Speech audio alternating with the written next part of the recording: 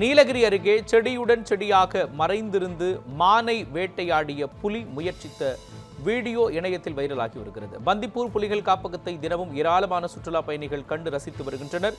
இந்த நிலையில் காப்பகத்தில் உள்ள செடிகளில் அமைதியாக படுத்திருந்த புலி அங்கு வந்த மான் ஒன்றை விரட்டும் காட்சியை சுற்றுலா பயணிகள் செல்போனில் படம் பிடித்தனர்.